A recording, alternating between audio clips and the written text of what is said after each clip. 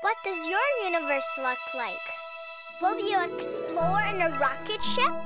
Or play on Mars with your best friends? Will you search for dinosaurs? Or watch a volcano erupt? Or maybe take a nap with a unicorn on a soft feathered planet. Close your eyes and use your imagination. It is your universe. It can be anything you Let's see Melania's universe. My name is Melania and this is my universe.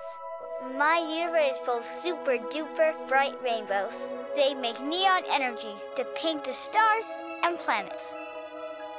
I like to go for spacewalks with my space dog, Muffin. We like to slide down twisting rainbows until we land in a puddle of stars. Muffin likes it when I grab the star and play catch with her. Sometimes, when Muffin catches a star, it pops. It makes a pretty space pattern like a nebula. It's so pretty. I love nebulas. Did you know that a nebula was once a star? When some stars get old, they can explode. Kaboom! Then, all the stardust and gases are left over, makes a nebula. Sometimes, new stars are born inside the nebula. Nebulas come in all different shapes and sizes. I wish I could really see a nebula up close. Some can be seen from Earth, but you need a really big telescope, like the Hubble telescope.